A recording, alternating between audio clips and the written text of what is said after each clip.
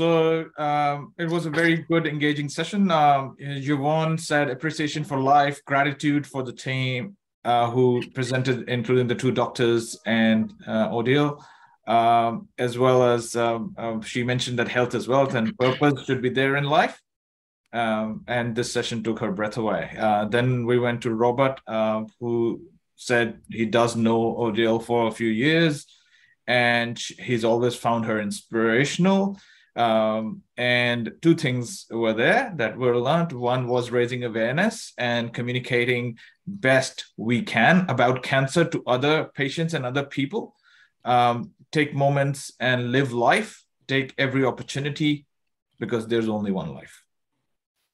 Uh, going to Christian Tully, um, takeaway was um, uh, that uh, uh, it was inspirational and gives insights of what we do day to day and how to think differently each day.